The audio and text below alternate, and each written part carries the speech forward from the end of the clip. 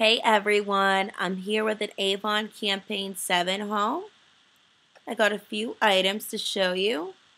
I got the Fergie Outspoken in the full size because I had the purse spray and I love it so much. I also have the lotion and I find it has better staying power when layered with the lotion.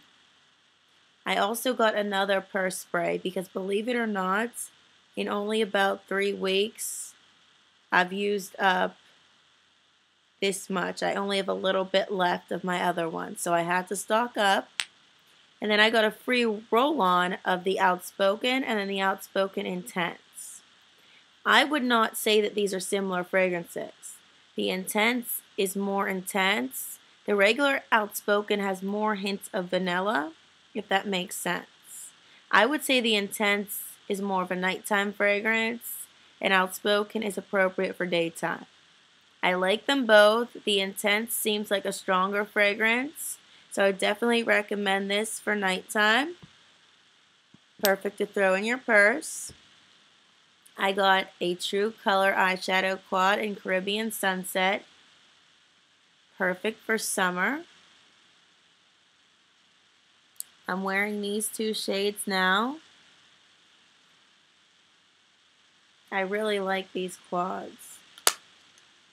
Comes with the mirror.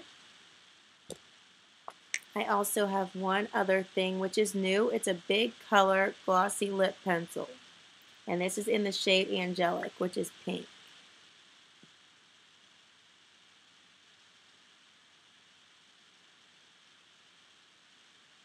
This feels similar to Tarte's lip stains.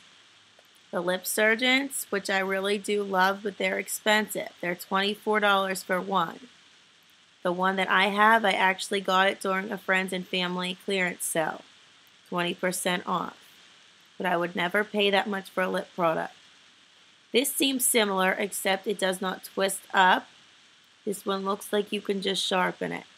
And I've seen similar pencils to these. Um, NARS has some.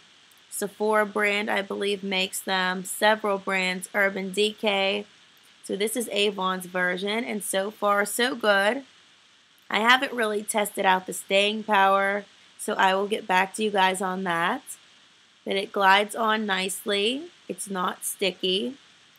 It's hydrating. It's not overly glossy.